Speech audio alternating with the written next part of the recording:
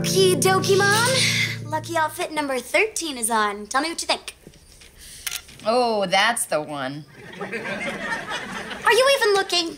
Mm, not since lucky outfit number seven. Mom, this is important. Honey, you have looked great in everything that you have tried on. Just pick one and feel beautiful in it.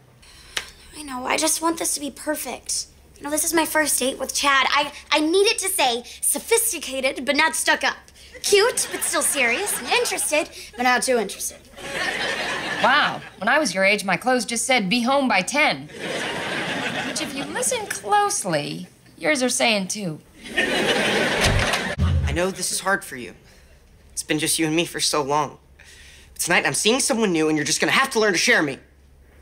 Please don't cry. If you start crying, I'm gonna start crying.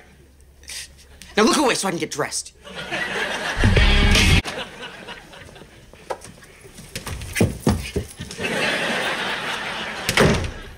Hello, boys. It's showtime. Hello, girls. It's toe time. We've had some good times. But you're new. You've got something to prove. Nah. Eh. Eh. Eh. This would be so much easier if I was a dude. Would be so much easier if I was an average dude. Good. Too preppy. Better. Trying too hard. Rocking it. Not trying hard enough. Perfect.